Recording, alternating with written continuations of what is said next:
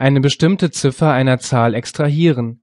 Hin und wieder muss man in Excel eine bestimmte Ziffer einer Zahl extrahieren. Dazu eignet sich die Formel Teil.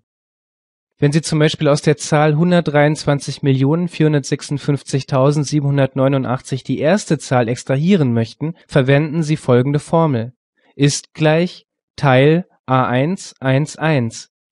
Möchten Sie die ersten beiden Ziffern extrahieren, so lautet die passende Formel ist gleich Teil A1 1 2 beziehungsweise für die ersten drei Ziffern ist gleich Teil A1 1 3. Für die Ziffern 4 bis 6 schreiben Sie ist gleich Teil A1 4 3 und so fort. Die letzte Ziffer gibt immer die Anzahl der zu extrahierenden Zeichen an.